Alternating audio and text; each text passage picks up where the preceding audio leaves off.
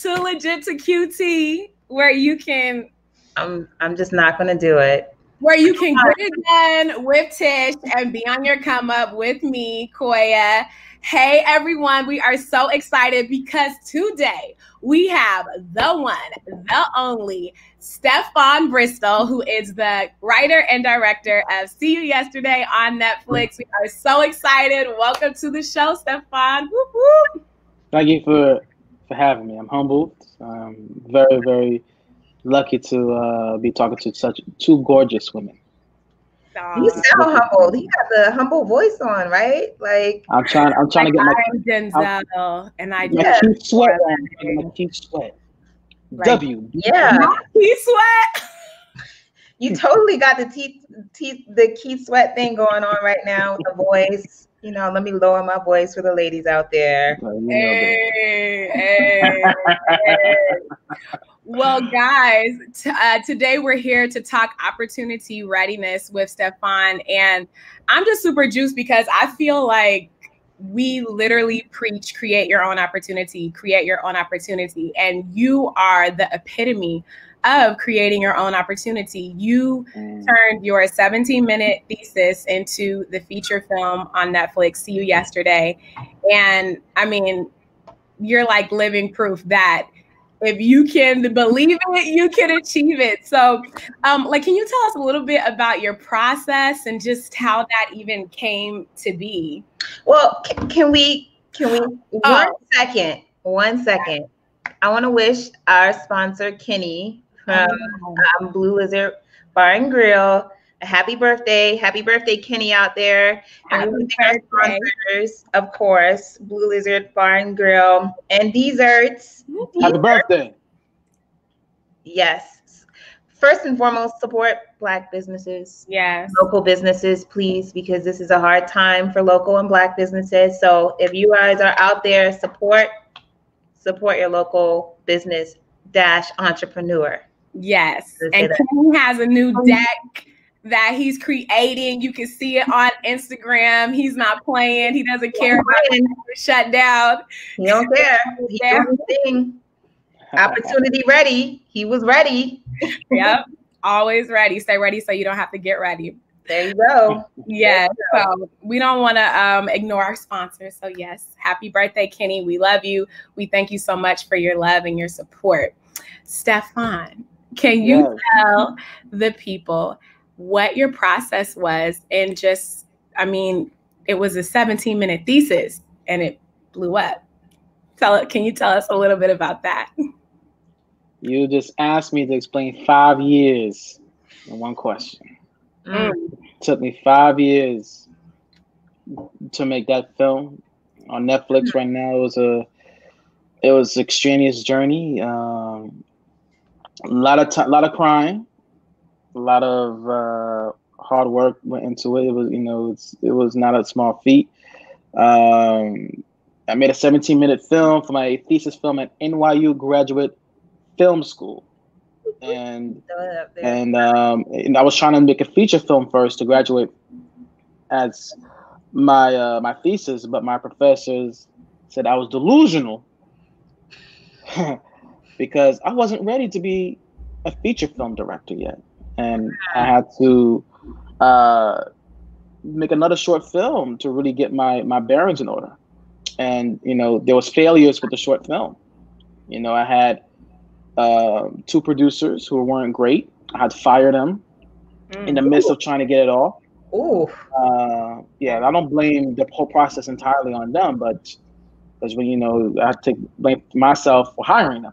Um, and but I, you know, I cried for a week. I asked my mother for rent, uh, and, and then but she turned around and refinanced a home and uh, gave gave me money for short film.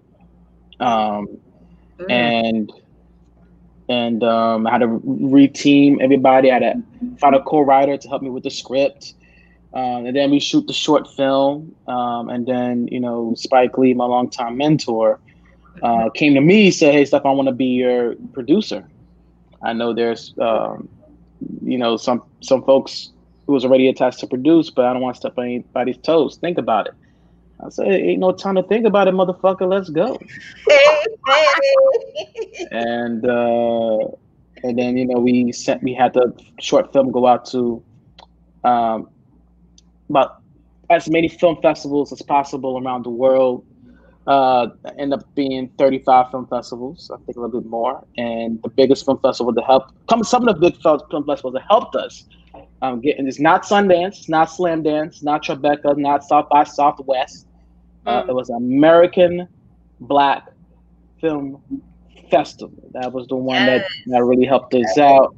And then you got Black Star Film Festival, and then you got Milwaukee uh, Film Festival and and and and um, uh, Pan African Film Festival. These are the film festivals that really uh, helped me out and get notoriety. And, and, Martha's Vineyard mm. African American Film Festival, where I won the HBO Short Film Award, and um, and uh, during during these festivals, we thought just tell people like, "Yo, we're making a feature of this film," and it does it did well. And we got accolades, we got an audience, people were excited about it, and and uh, me and Fredrica, we started writing the script script again during this process.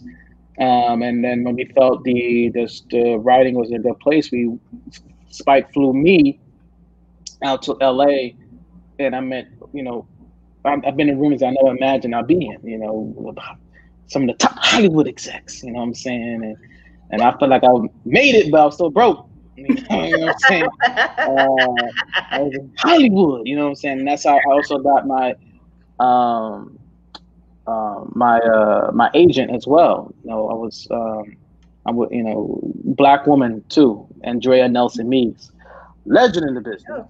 and and she was at ICM Partners, and it was crazy. You know, you walk into that I, I really felt like I was Hollywood. I walked into that place. It was on the top floor somewhere. You saw a beautiful view of LA, the valley, and everything. And then they had a, a swimming pool, a basketball court, an airstrip, everything. I was it was it was nuts, man. And um, and um, and and they welcomed me. Um, she welcomed me with open arms.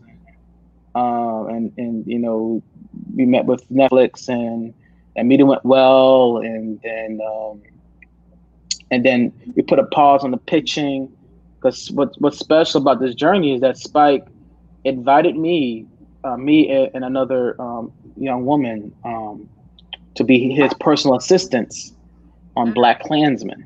Mm. BlacKkKlansman, the legendary film BlacKkKlansman. I was his assistant, and mostly my like my the other assistant, Lauren Owen, she was Spike. She did most of the hard work. I was just, I was just shadowing Spike. I was on, you know, I, I was riding Spike's curtails to see, you know, right behind him, trying to see how he was directing every day. And you know, uh, I, was observing how he was talking to the DP, Chayse Irvin. I was observing how he was uh, directing uh, John David Washington, uh, Laura Harrier, and and Adam Driver. It was like I was very close, you know, you know, I, I was so close I could I could smell the farts. That's how close I was to, to the actors because I want to know exactly what this man was saying to them. And that process was helpful because that helped me be prepared for, to direct my own feature film. I was that was the first time I was on a real Hollywood set. And if I didn't have that experience, I, I would have not been prepared to uh, to direct my feature. And and after that, you know, we you know Spike let me know we got to deal with Netflix and um, and yeah, we shot you know, we continue to write the film, and I was broke. All this during this all this time, these five years, I was extremely broke. And it was so bad um, that you know, even Spike, God, God bless him, was able to give me uh, a loan um, to live off of. It was bad, and there was a lot of crying and everything. Man, I had a close circle of mine to talk to and whatnot, and I'm dragging it because I know there's more questions, but. Um, it's okay. Speak your truth. Speak your truth. Yeah, yeah, man. Was, I'm happy. That, I'm happy that you talk that you're talking about the process and your financial process because we've talked about this before how nobody wants to talk about that in the business. They see the lights, they see the glamour, they see that you're on TV or you're working with with X, Y, and Z. But I think it was Taraji P. Henson who said, like, nobody knows when you leave set and you're going home and you're eating top ramen. You know, there's this, this like false notion true. that um it's true. And we talk about that too, bestie. Like um, people who have fame but no money. And and it's it's very common mm-hmm. in the entertainment industry. So I thank you for your transparency. But you want to know what? Another thing is, is like like I do like job after job after job, and I meet all kinds like you know um, you know Andy Fickman, who's come on the show. He's my mentor, and mm. you know he's helped me throughout my career. And I go from project to project to project, but the struggle is real. Okay, mm. the struggle the struggle is real. Um, and I'm a line producer, so I manage mm. I manage mm. money and I'm and it's still mm-hmm. struggle is real, you know? So I think, you know, there's this misconception that just because you're around all these people, but that somehow that translates to like some sort of financial gain. And I know all these celebrities and they just like, you know, they're working uh, not to say that I'm like not not somebody special because I feel like I'm special, but we we all are working together to get to yep. a certain space. Let's just say that we all are working together to get to a, cer- a certain space, and it's just really interesting because um, one of the things that we always talk about or I talk to people about is diversifying, right? So that when you're in this space as an entrepreneur artist, that you have something to go off of because you know, t- almost nearly 10 years in this, you know, I know Darko, you've been doing this since you've been like five, but, but nearly, nearly 10, 10 years in this 10, 12 years in this game, man, it's, it's no joke. Mm-hmm. You know, the money situation is no joke. And, you know, I do believe that, um, you know, creativity is limitless. I always, I say that to you all the time, but the reality is we are creative. We love what it is that we're doing, but life goes on whether or not we make it or not. And that's the thing people don't they don't see like we still got life. And run me my money. Like at the end of the day, I'm mm. sorry, run me my money. Like my dad always says, all that glitter isn't gold. And I'm sorry, but I'm not going to get caught up in smoke and mirrors. And mm-hmm. what I heard you say, Stefon, earlier is I heard you talk about your support system, your support system with your mom, your support system with, um, with Spike Lee. And a lot of times you don't see the other moving parts that are holding up this mm-hmm. And you see it a lot with different different celebrities different um, entrepreneurs. There's some something and usually somebody or a group of people behind the scenes that are holding that person down.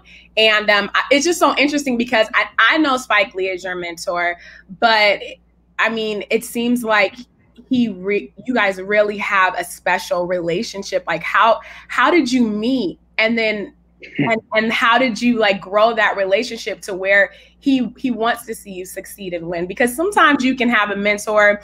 And i've had like mentors where they're like okay i'll tell you this and that but i'm not gonna really help you. I'll, I'll give you information but i'm not really gonna help you. Yeah yeah. It's a beautiful place the united states of america where it's, it's a great place to learn how to be and just to be a black man. That's Morehouse College, baby. Morehouse College. There you go. There you the, go. The, the best HBCU. I would say no, it's the second best HBCU in the country. The first best is Spelman College. Shout out to my. There Spelman we go. College. Shout out to Spelman. Shout you know, out so, to Spelman. And I met. I was um at Morehouse under, undergrad, and I um I woke up one morning because I was trying to be a filmmaker for such a long time. I was discouraged to do it. But I woke up one morning and said, fuck it, I'm gonna be this is what I want to do for my life. And I just go around campus trying to figure it out, trying to trying to change my major, and that didn't work out because the major ended in 1996 uh, for filmmaking. And then you know, I just team up with a, um, a lot of students at Clark Atlanta University, and team up with some some friends of mine at college um, that was into filmmaking, and um, you know, some noble names would be like you know Tariq Jackson, God rest his soul, Rising Star is a good friend of mine in Morehouse. Um, Stephen Love, who's a now is a huge producer in Hollywood right now, and during this time, I was just making films, and and a professor, um, um, you know, uh, Mr. Ron Thomas, uh, he said, you know, Stefon, you know, Spike is gonna do a, um, a, a screening at King's Chapel of Kobe doing work. Mm. You should go there and meet Spike. I was like, okay, cool. And I went there and saw the film and Spike Lee. I was like, oh my god, Spike Lee! Ooh. And um, and I went up to him after the screening and said, Spike, man, I would love to, uh, uh, I would love to have an internship with you at 40 Acres because I live in New York. At the time, I lived in Long Island. Um, and he said, all right, you know, here's my email. Send me your resume. Send it, and I haven't heard anything from him.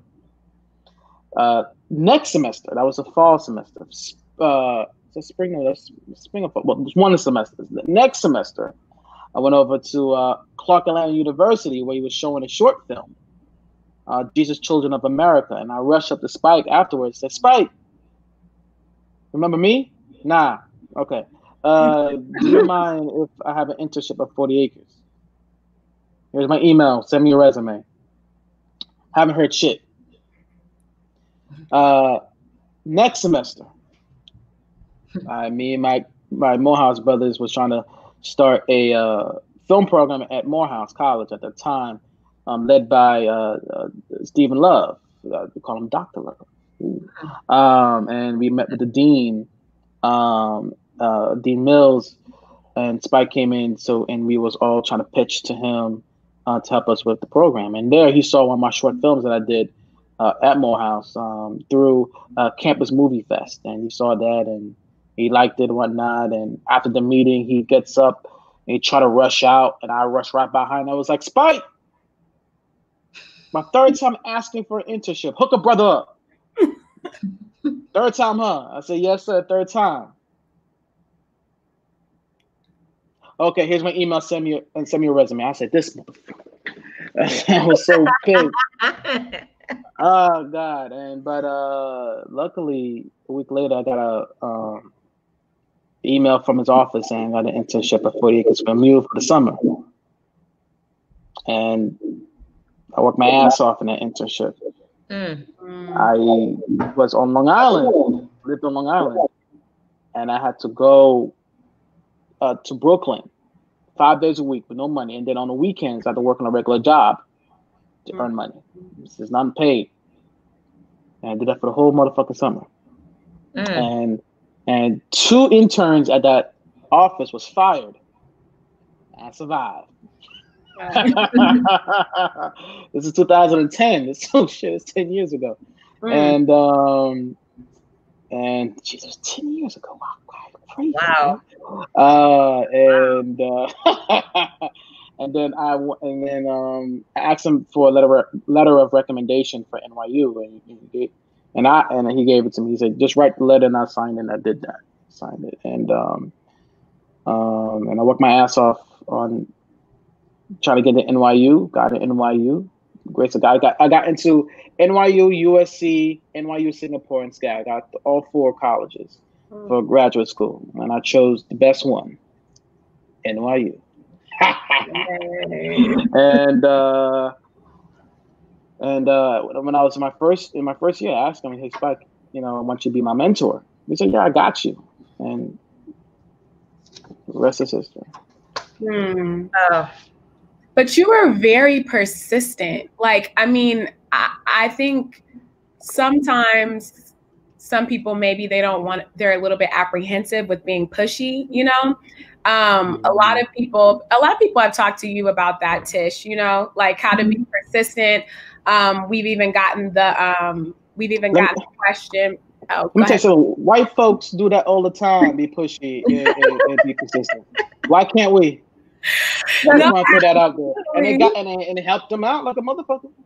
But you you know what I want to say about that too, Stefon. Um, it's it's very interesting because, like, in Hollywood, you have these perceptions that, uh, like, uh, you're going to be like Jennifer Lawrence, where you someone just met you on the street, and they're just going to give you an opportunity, and they're just going to put you in their film and take a picture of you, and it's just going to happen. And it's such a false it's such a false narrative, but it's the way that I think it's the way that the industry thrive.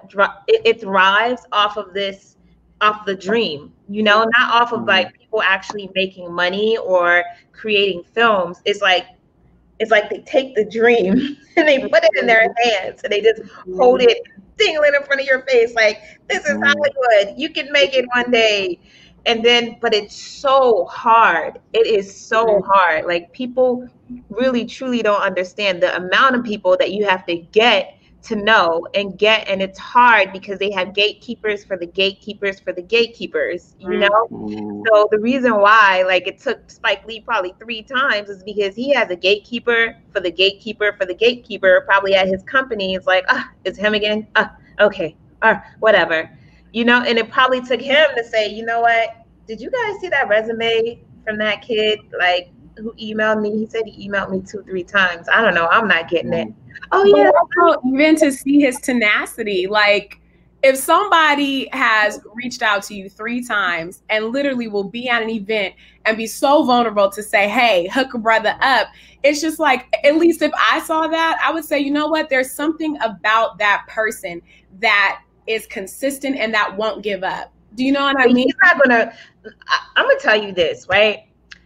Like as a person who like does like a thousand auditions, like I go through a, a thousand auditions or whatever, right? Sometimes when I even get emails, I'm like, okay, you know, like it's not. Sometimes it's not even like about like that person. It's just about like, like I'm busy with this you know? So, like, I won't even remember that I talked to you because I'm busy with this, right? Mm-hmm. So, probably with him is he probably was doing a couple things, you know, and then finally he probably got a little less busy. And he, he knew like, who I was. he knew. he knew I was. Cause you, cause you ain't somebody. I know. He kept, he kept, uh, he kept going at it, man. He kept going at it, but that's what it takes because sometimes that's just all it takes persistence, man. And, but and he also said that he worked his behind off and he like showed him I am worthy because I also feel like like how do you get and keep an industry mentor you know? Like that that's a thing within itself. He said that he fired like two different people and spike lee is a perfectionist. Like i don't know like i i mean i see his work. You have to be a genius. You have to be a perfectionist to produce that level of work. And i mean you said that you showed up every day and you and you showed out. I mean so along the lines of that, right? Showing up every day, showing out, doing this. What are some of the, let's say, technical, um, yeah, what are some of like the technical and personal skills that you learned from working with, you know, and point blank, what have you learned in the last 10 years? Let's even go there, technical and personal skills. I don't know how to answer that question. 10 years.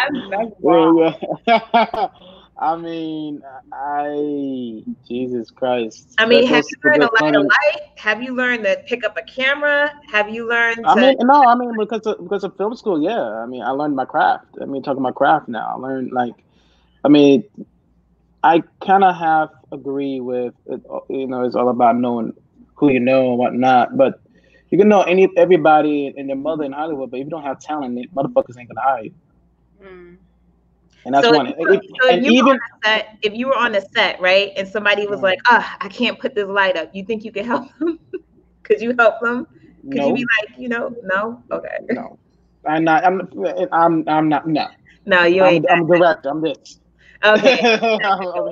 somebody do that. Somebody else help them out. But you could probably you could probably cut a page or two. I could probably do that. Yeah, you.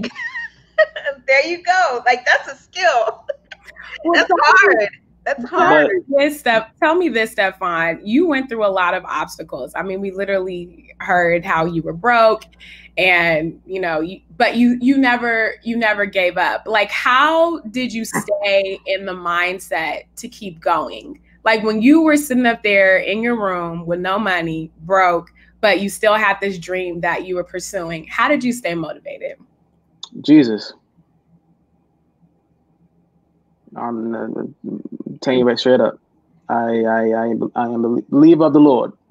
Mm. I have faith. If faith is the green as a mustard seed. And, and, I had a vision. I had a vision. I believe in myself. That's that's another hard thing. Is believe in yourself. That's that's, that's crazy. Uh, a lot of people under, underestimate that. Believe mm. in yourself. Once you believe in yourself, you can actually do it. Um, you know, I is family members, friends, whatever, doubt I can get this far. Mm. Doubt it. And those doubts were planting in your head, those doubts was real. Those times where I am lonely, you know, crying with, to my friends on phone, um, in bed with, with only what couple of uh, hundred dollars in the bank account, sometimes less, sometimes it's overdrawn. Uh, I just believe that in the dream, man. I, I knew I knew exactly what I wanted to do. I knew exactly what I wanted to say with the film, and I believed in film. I see the vision clear as motherfucking day. It was like it was burning clear, mm-hmm. and I mm-hmm. knew I can do it. The, the hardest part was convincing everybody else. That's mm-hmm. the that's the journey, and, and it it was so it was like I I see the vision clear as day, and I know what I'm capable of doing. That anybody who denied me of it, I was insulted. Mm. Mm. That's and so interesting. That's really interesting that you're saying that because um, I, you know, it it. I just kind of feel like it has to be like your tribe because when you have the right tribe, man, you just thrive. Yeah, you just yeah, thrive. Was... It's just the people who are for you who are for you, point blank. Mm-hmm. I mean, you know, I I see it all the time. It's just like you might have like even a great idea, man, and I see people, all these creative people, but it just takes, my husband always says, it only takes one person, one person, just one. And that's just, that's just what it is. Yeah. That's really, yeah. you know. Yeah, yeah. The, one person, you, you need. There's, there's always going to be people. This that's how it's hard to decipher people um, who don't who don't believe you, but still want to work with you. It's mm. easy to talk to they don't, but they still want, still want to work with you because to say just in case, I wanted to say that I'm the one I was there. Mm. You want to get rid of those people quickly, um, but if you find people that believes in you, you know, hang on to them like a motherfucker. And, and, it's, crazy, and it's crazy. And it's crazy. I still have people that don't believe in me right now. How how how do you decipher between those people? Because I think that's the thing. Like mm-hmm. when you, it's one thing to not really have a body of work um, mm-hmm. and whatnot, but you're in a position where you've created this body of work. You have these people that you're connected with. How do you sift? How do you sift through people to know if that individual who wants to work with you is for you and if they're not? Uh, by the fruits of their labor. Are they doing enough? Are they doing enough? Are they fighting for you? Mm.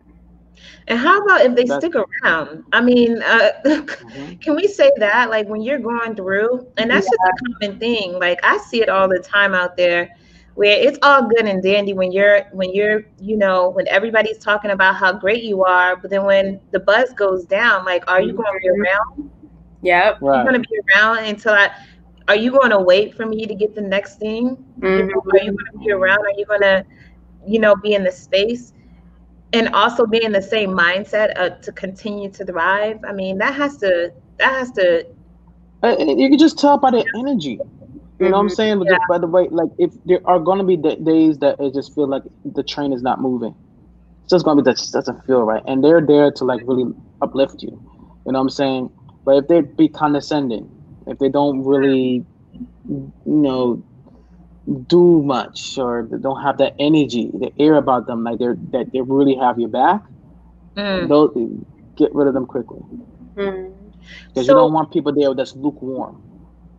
You know what I'm saying? Spike wasn't yeah. lukewarm. Fredrica wasn't lukewarm. You know mm. what I'm mm. saying? Um, folks at Netflix, thank God, wasn't lukewarm. Mm. How did you meet Fredrica, um, your writing partner, anyway?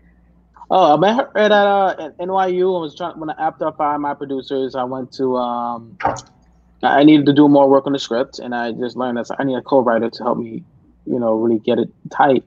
Um, and I went to the dramatic. I wanted to make sure that whoever I partner with co-writing, they're not also directors. Because in the program, um, uh, I was in the graduate film program. It's all directors, and and if anybody want to collaborate with each other, we'll write with each other. And I don't want another motherfucking director to write with me. Uh, so I went to the dramatic writing department where they teach you um, playwright and screenwriting. Um, and I asked the chair there, I said, please look at, you know, this is my project I'm working on. Do you know anybody um, that would, uh, that, do you know anybody that was interested in this? And Fujiko was on the list of folks, and she was the only black woman on the list. Mm. Mm. So, and, and I, you know, interviewed everybody, everybody. And she was, she was the best writer on the list, and she was just, and she was cool people. And I, um, now, now she's like a sister to me. Um, she's a very good dear friend, and um, and I needed, and I'm I'm lucky because I needed a black woman to do this picture. There you go.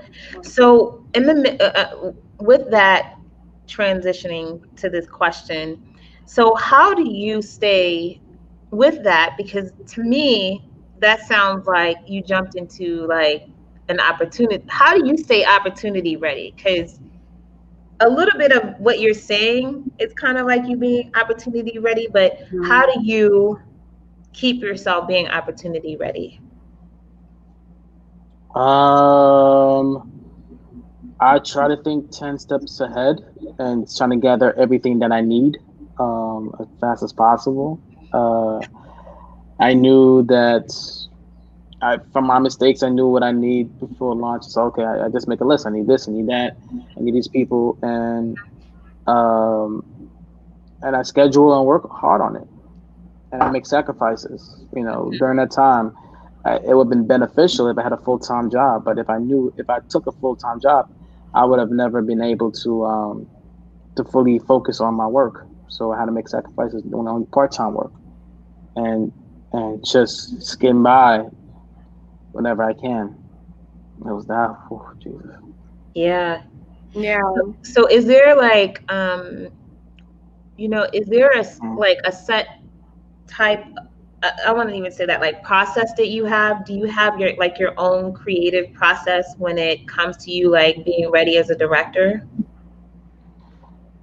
Uh, watch, and watch movies for sure. Watch a lot of movies. Um, that pertains to the Pacific Project. Um, right, you know, I'm gearing up to make uh, another movie right now. I have to like really go back to uh, learn how to direct actors. So I'm gonna start taking some classes or just getting friends of mine, doing on Zoom. That's the best thing we can do, and and and and, and just learn how to direct.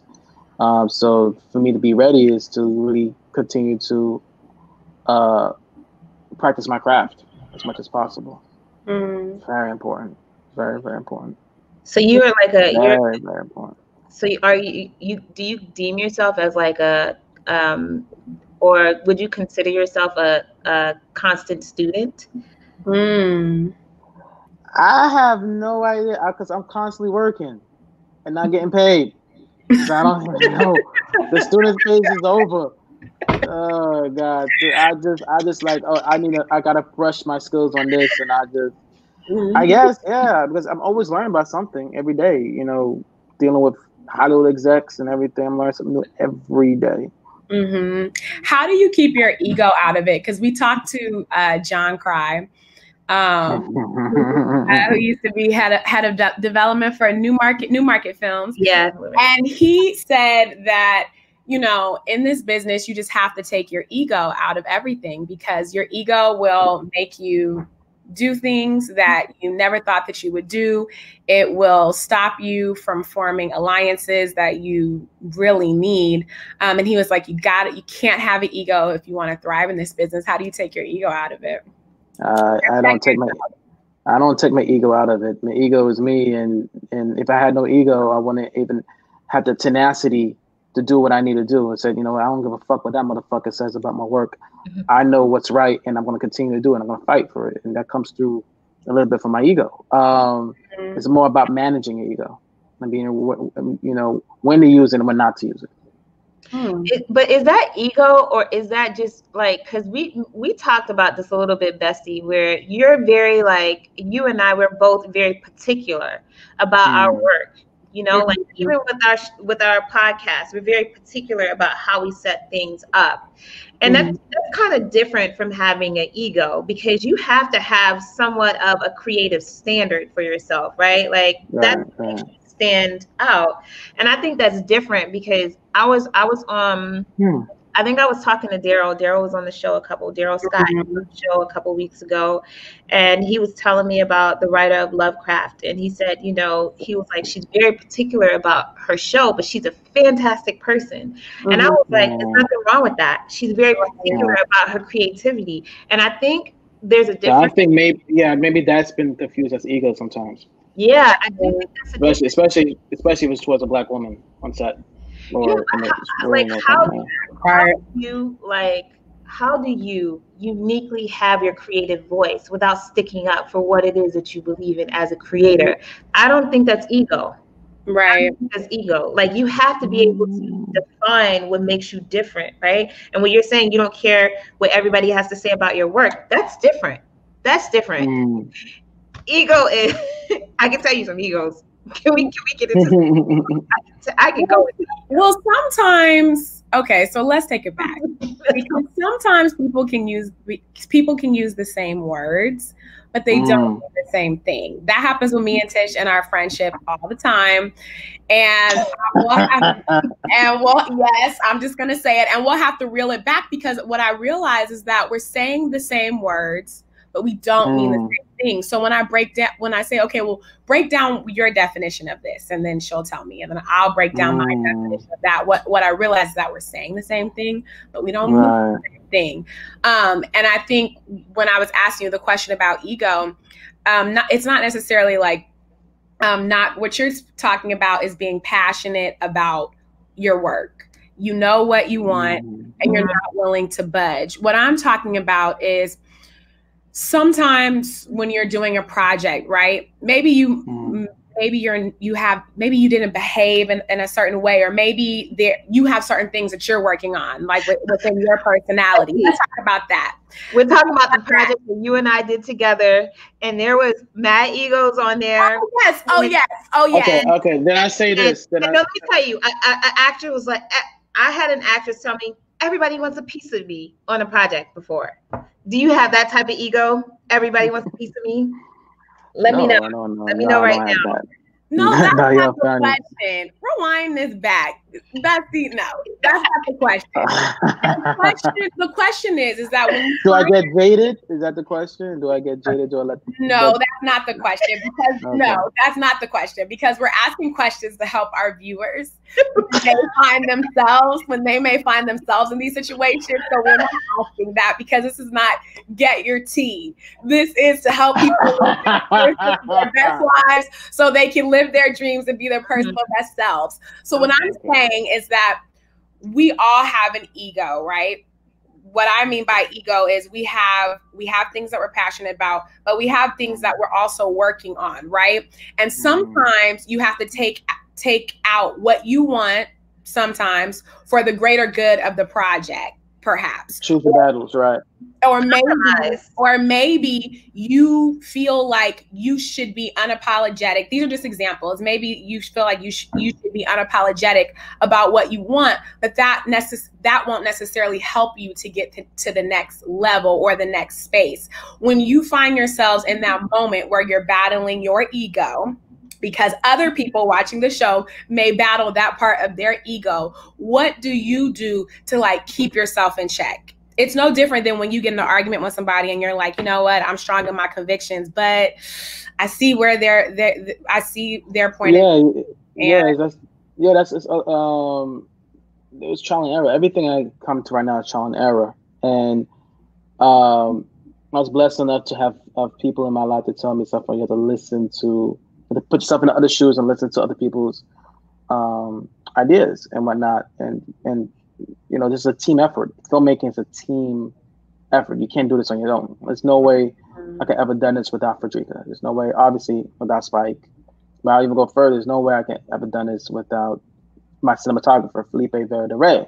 There's no way I could done this without my uh, boom operator, my what have you. It's it's a team effort, and there's there's people who who, um, who are giving ideas and everything, are allowing helping you to see things that you cannot see because you're just so da da da da. You're so right here, and, and you're supposed to be as a director or, or an actor um, or a producer. Um, so it's just, it's you know just remembering that, like I said earlier, Tish, is you know we all we're all in this together. This is hard work, man. You know, you know what I'm saying? You know, you know, you know, you're not Beyonce. Your shit, your shit stinks. I'm sure hers does too. too. I'm sorry, No, but no, I'm sorry. Beyonce poop glitter.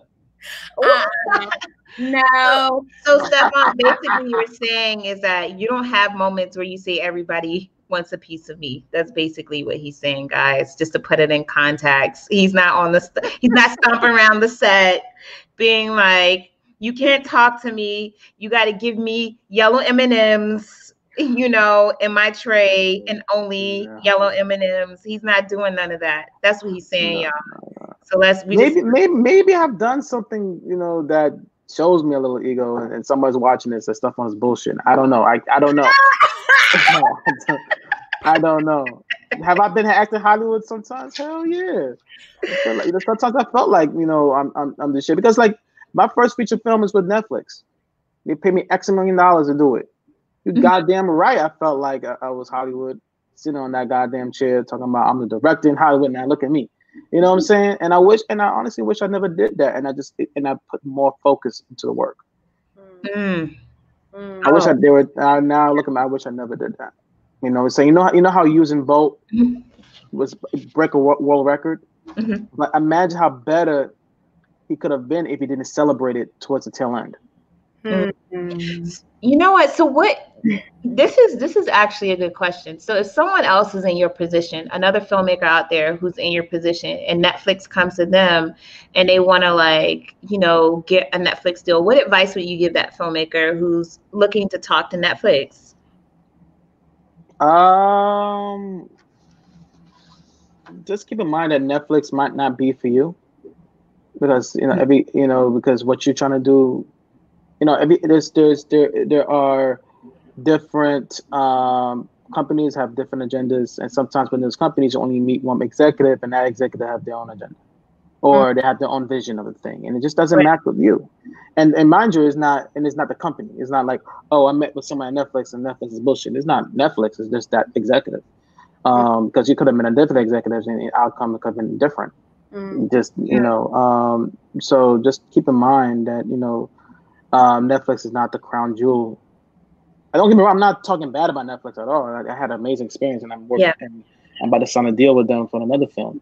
Um and we just had a good relationship with them. But um then there's others that haven't and and i don't blame them for it you know. It's just it just it just wasn't it. Not every company not you know not every company because netflix is hot doesn't mean it's the best for your project Yeah, for example, Bad Hair. It's on Hulu. It feels good for that. yeah. It's it's, it's, fre- it's refreshing to see that. Mm. Um, Yeah. Michaela, Co- Michaela, I'm not butchering her name. Michaela Coel went to Netflix with um, I May Destroy You. For some reason, the deal wasn't great, the best for her, so she went to HBO. Mm. Mm. It's And shopping. that's fine. It's shopping. It's shopping. It's finding the best Mhm. platform for your for your project. But right.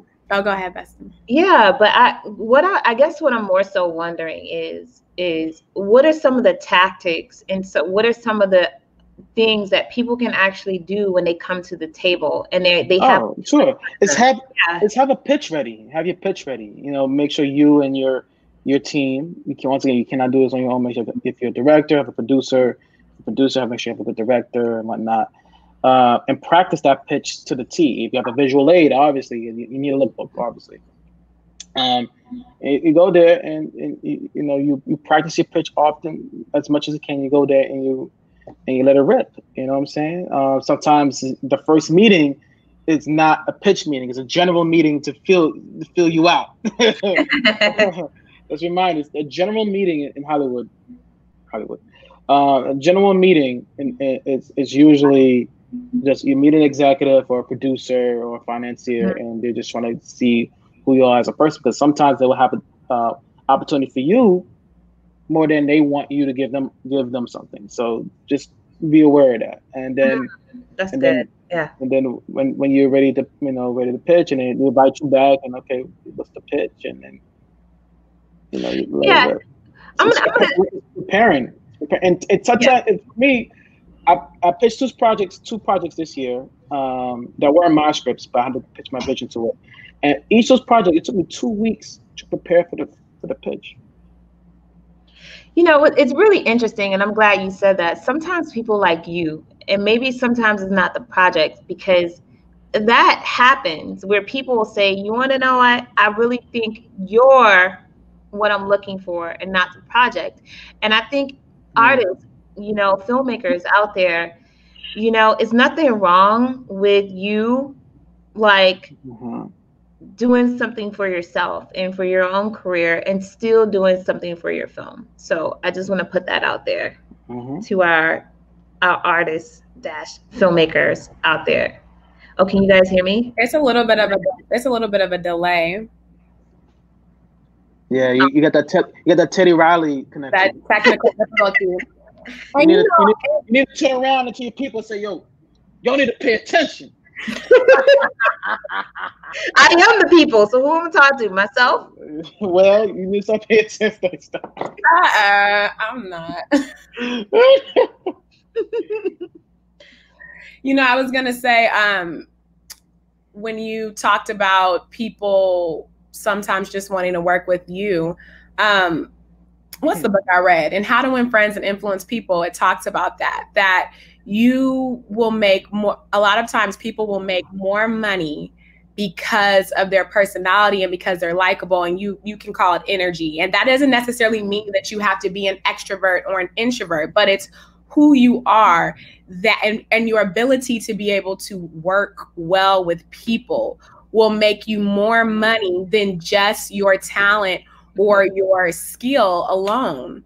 Um, now if you put the two together then you just you said but i think that people highly underestimate that that you you you have sometimes like you said it's just not for you. And it's not that it's not that netflix or hulu isn't great or this writer or that writer isn't wonderful but they don't click with you. And i think it's just really it's really valuable for our listeners to just hear that because i think especially like when I when we got out of grad school, we just wanted to work with everybody and anybody. And now that like we're in our 30s, we're gonna put it out there because a like fine wine, um, unapologetically 30.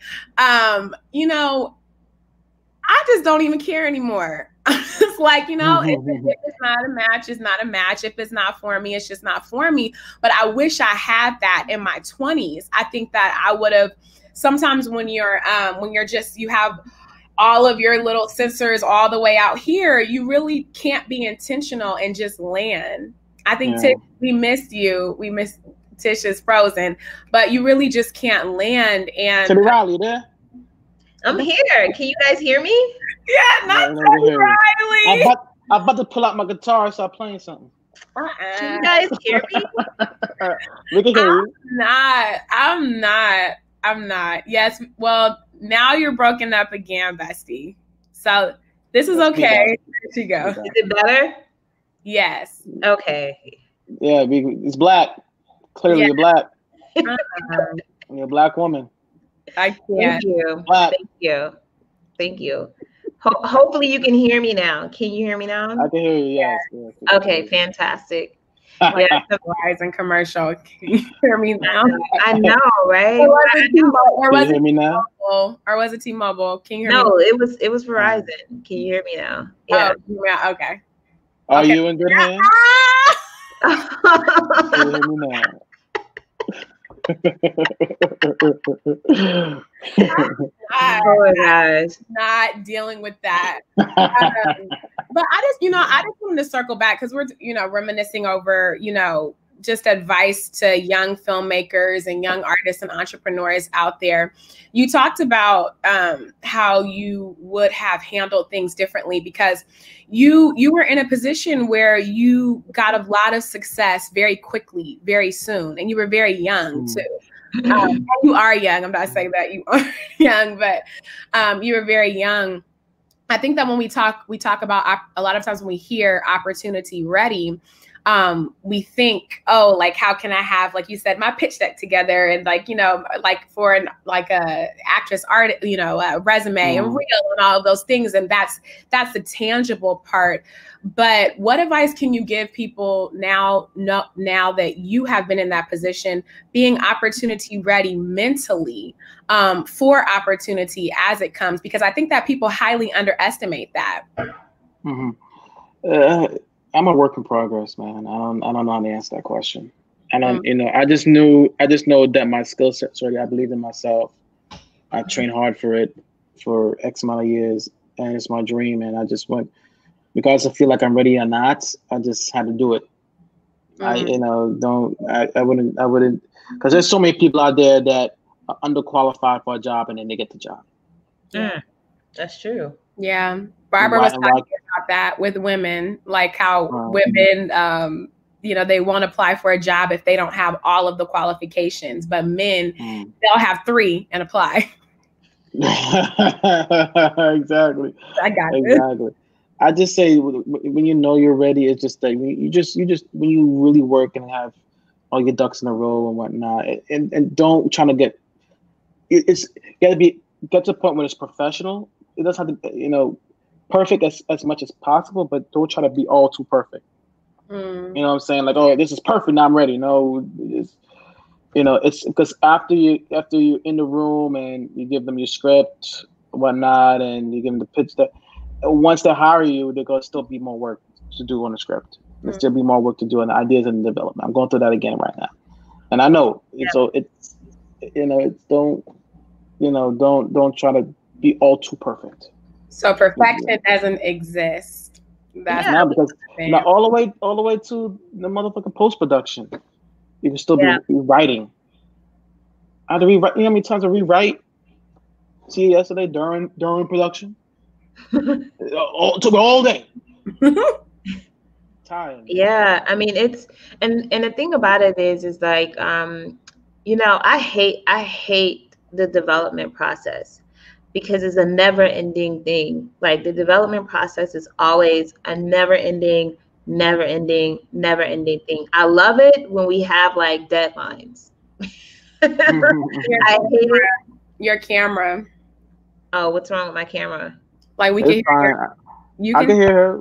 Finish your question.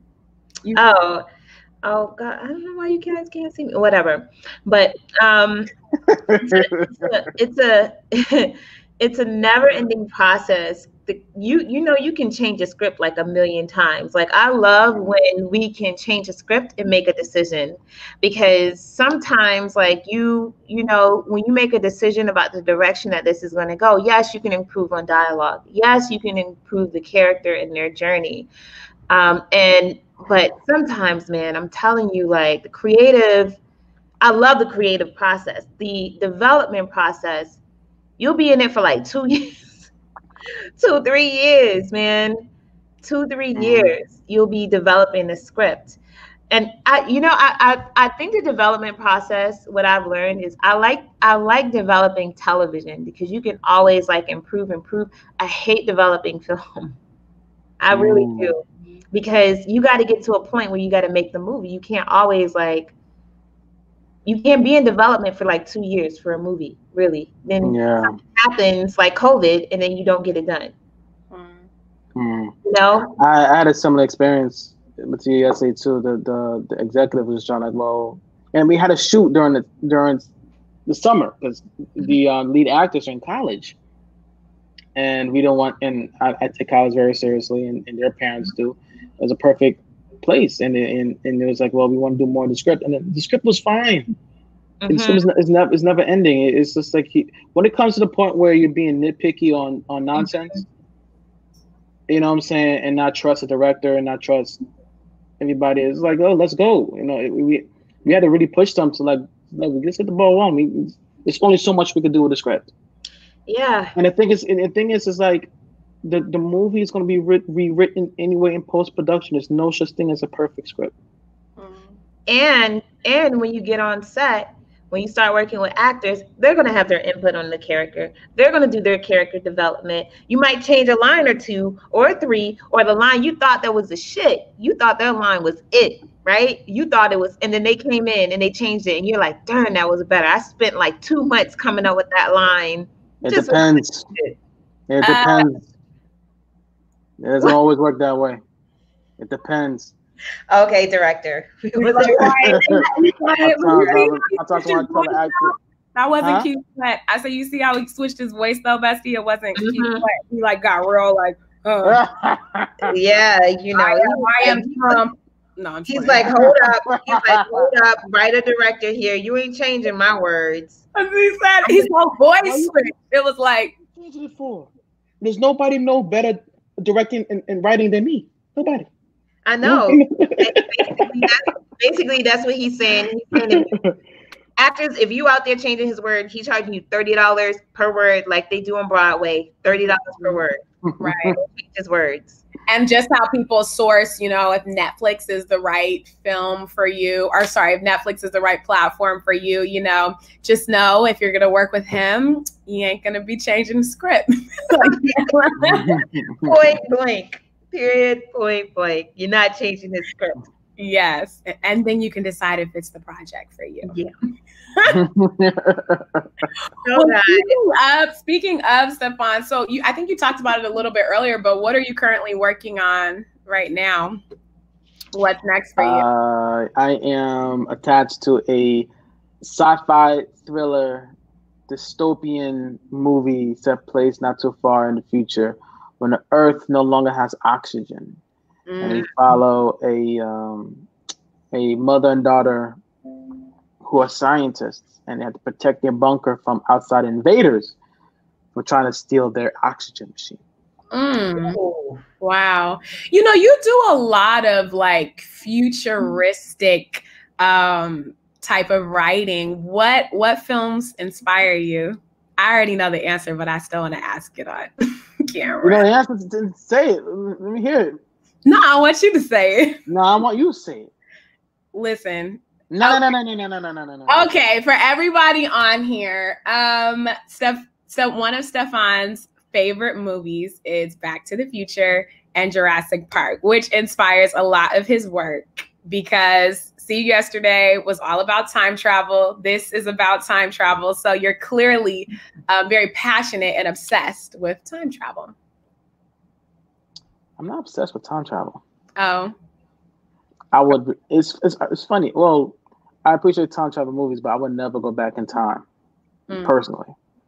Because number one, there's nowhere in history that black people go themselves in the past. Um, and two, I don't want to go back in time and try to change anything mm-hmm. because what we what we going through now is is, is because it's it's th- things are getting better or things just getting you know we need where I'm at now is for the love of God. It's because of mistakes I made in the past. But Back to the Future, Jurassic Park, not the only ones that are my favorite movies. I love Do the Right Thing. Do the Right Thing is my favorite movie of all time. That's the movie that told me, uh, that formed me what I want to do in my life. Malcolm X, mm. amazing movie as well. Um, and some of the more recent, you know, recent movies that I love are um, Spider-Man Into the Spider-Verse. Oh, I love that movie. Yeah. And have you ever seen little kids watch that movie? Like, it's one thing to watch it as an adult, but I just I love that movie because of just the diversity and just yeah. in Brooklyn. Like I don't I don't know if people really understand that like diversity really starts with kids. Like that that's really mm-hmm. The next generation and you change the narrative. You got all these adults that's over here trying to change these these individuals that are already fully formed but I, I, you know i work with kids and i've i mean i've seen how like just seeing a a cartoon movie like that. It's just it's not a big deal that all your friends are black or you're in Brooklyn and you doing X, Y, and Z or you like this type of music. It's just it's it's part of their culture. It's not even a big deal. It's not like they're looking mm. at it and gawking at it. I love that movie.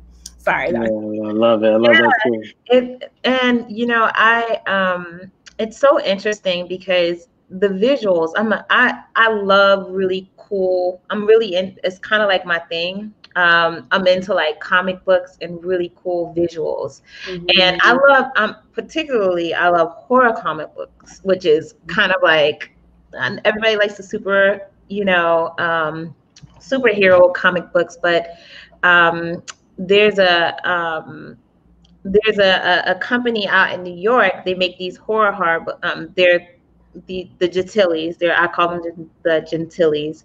They make these horror comic books that have like visuals very similar to what you see in um, into the into the Spider Verse, and so it kind of reminded me of that. It has like a really authentic comic book feel to it. You know, I'm waiting for that comic book horror to come out, whatever that may be, the big comic book horror. That might be something I do. I don't know. I'm putting it out there, guys. Maybe, maybe. but I, just, you know, I'm into I'm into the comic book horrors. I had to put that That's out dope. there. The visuals, the visuals. So we are, guys. We are getting very close to the end of our podcast. So yeah. I want to Oh, this is a question, Bessie. You ask it all the time, so I'm not even going. Oh yeah. So uh, yes, okay. So um, we've been asking everybody, um, what is your mantra for getting? Bless you, bless you. Bessie's not feeling well today, guys, but she's still on here like the goat uh, professional her thing. You would have never even knew that she was under the weather. So hand clap for her. That's all I gotta say. Thank you, best friend, boss. Um, anyway, so uh, Stefon, what is your mantra for getting your mindset right and staying motivated? It like it's kind of like your life an- life anthem. It could be like a song. You know, you know, like for my sister, she always sings, which is kind of sad, but ooh, child, things are good again.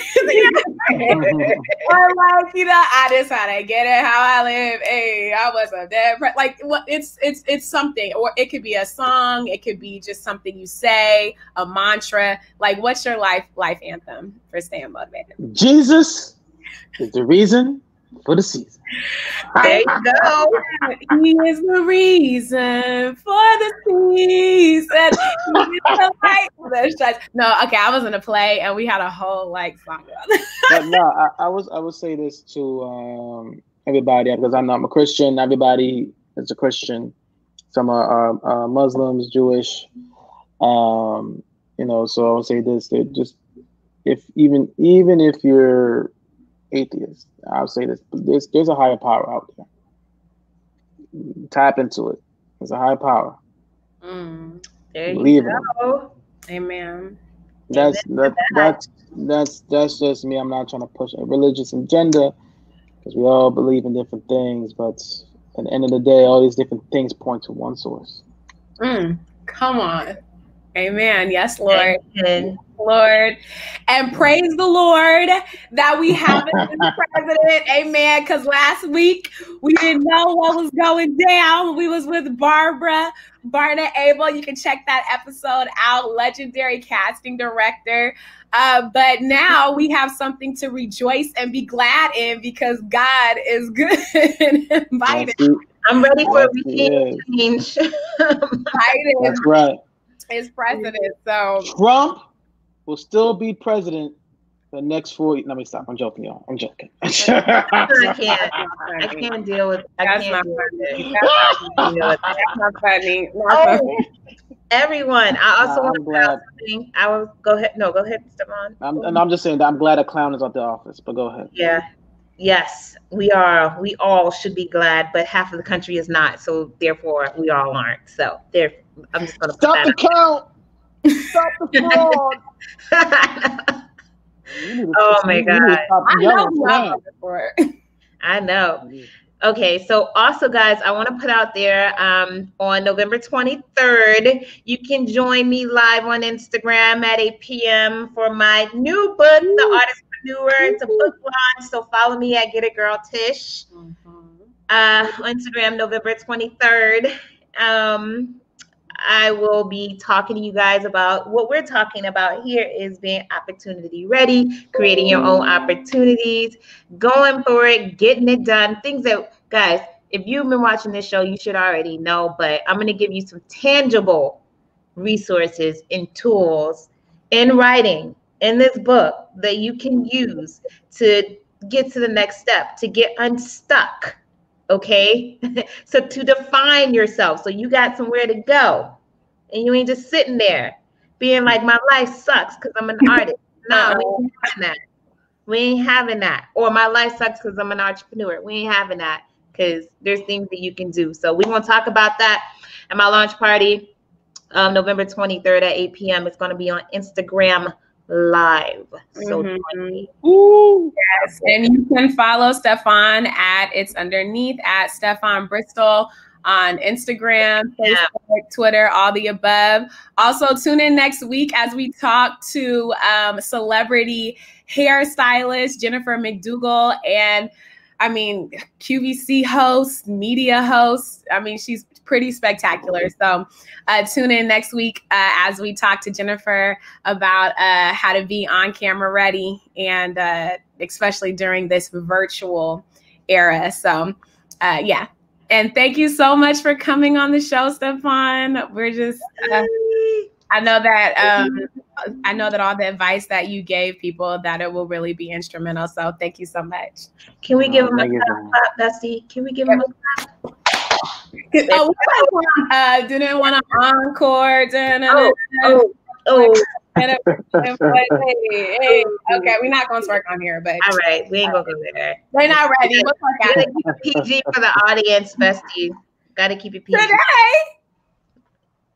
we gotta keep it PG. We're trying for the sponsors. Oh, that's keep, oh, you, hold on. Never mind. How you, how you keep it motherfucking PG on over here? Oh, I don't know. I don't know. I mean, I mean, honestly, I feel like I'm super PG. You know, people come on here and they just get, they let loose. They don't care. They're just themselves. Yeah, know? that don't mean that doesn't mean that we can't. We are going to come. We are going to compose our. We're going to Michelle Obama it. Michelle Obama gets clatched. Is she like? She so like I have seen Michelle and Barack be like this. so please. okay. Well, we're gonna we're gonna keep it out there. We're gonna keep it. Yeah, we ain't there yet. All Thanks, right, guys. Thank you. Thank, Thank you, everyone, again. Thank you, ladies. Be Thank safe. you, guys. We'll see you next week, guys. Wear a mask. Yes. Oh, yeah, wear a mask. Wear a mask. Oh, Stefon, stay on after so we can um talk and thank okay. you. Thank you guys. Bye. Bye. Get back.